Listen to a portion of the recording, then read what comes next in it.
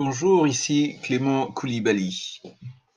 L'article du jour, j'ai intitulé Avez-vous cette intelligence? Vous rappelez-vous d'un de mes articles sur les pensées? Aujourd'hui, j'aimerais simplement partager une version du passage où le Seigneur Jésus reprend Pierre lorsque ce dernier, inspiré par Satan, tente d'éloigner Jésus de sa mission sur la terre donc qui est d'être livré, de mourir sur la croix et de ressusciter pour le salut de toute l'humanité. En Matthieu 16, 23, il est dit, mais Jésus se retournant dit à Pierre, Retire-toi de moi, Satan, tu mets un scandale, car tu n'as pas l'intelligence des choses de Dieu, tu n'as que des pensées humaines.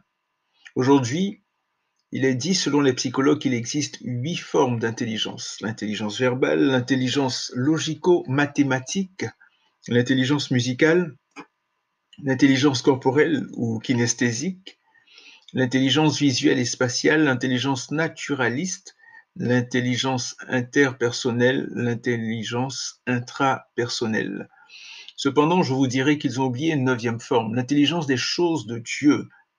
En plus, c'est la plus importante parce qu'elle nous aidera grandement pour notre éternité. J'ai simplement à cœur de vous inviter travers cet article, ce message, euh, vous inviter dans vos prières à demander au Seigneur Jésus de vous accorder, de nous accorder l'intelligence des choses de Dieu.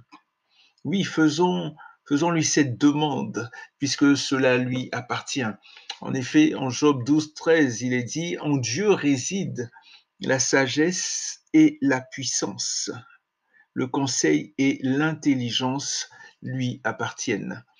Recevoir l'intelligence des choses de Dieu nous accorde le discernement, la protection, le fait de déjouer les plans de l'ennemi, le fait de prendre les bonnes décisions, la sagesse afin de donner de bons conseils lorsque nécessaire, le fait de connaître et d'être en symbiose avec les plans et la volonté de Dieu, le fait de connaître les temps dans lesquels nous sommes et combien, comment bien nous préparer à toute éventualité, etc., etc. Connaissez-vous les fils d'Issachar Ils avaient ce genre d'intelligence.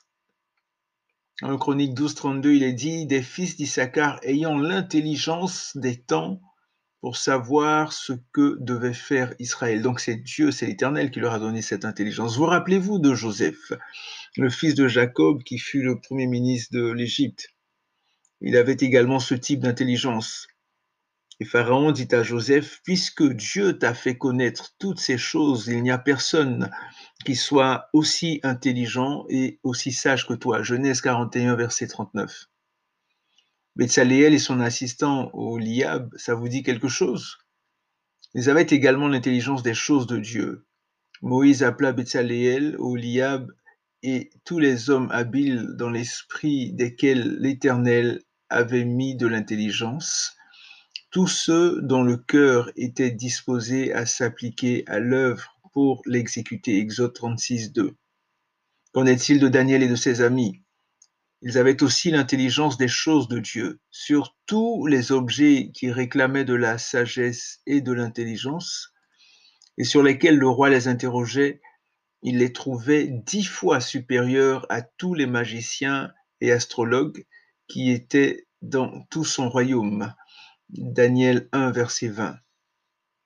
Vous rappelez-vous de l'échange entre l'Éternel et Salomon? Accorde donc à ton serviteur un cœur intelligent pour juger ton peuple, pour discerner le bien du mal. Car qui pourrait juger ton peuple, ce peuple si nombreux? 1 roi 3, 9. Et Dieu lui dit, puisque c'est là ce que tu demandes, puisque tu ne demandes pour toi ni une longue vie, ni les richesses, ni la mort de tes ennemis, et que tu demandes de l'intelligence pour exercer la justice, voici, j'agirai selon ta parole. Je te donnerai un cœur sage et intelligent, de telle sorte qu'il n'y aura eu personne avant toi et qu'on ne verra jamais personne de semblable à toi. Roi 3, 11 à 12. Dieu donna à Salomon de la sagesse une très grande intelligence et des connaissances multipliées comme le sable qui est au bord de la mer. 1 roi 4, 29. Si toutes ces personnes pouvaient avoir l'intelligence des choses de Dieu, nous pouvons également l'avoir. David n'a pas hésité à demander avec zèle spécifiquement l'intelligence à l'Éternel, faisons notre sa prière. David pouvait dire, Donne-moi l'intelligence pour que je garde ta loi et que je l'observe de tout mon cœur. Psaume 119, verset 34. Non seulement prions, mais soyons également dans la parole de Dieu, car la révélation de tes paroles est claire. Elle donne de l'intelligence au simple. C'est le psaume 119 qui dit cela, psaume 119, verset 130. La révélation de tes paroles est claire. Elle donne de l'intelligence au simple. Nous recherchons l'intelligence des choses de Dieu. Ayons cette intelligence spirituelle qui donne l'onction, qui est reçue par le Saint-Esprit et qui transforme, qui est pure, parfaite, limpide, qui est extraordinaire. Que Dieu vous bénisse.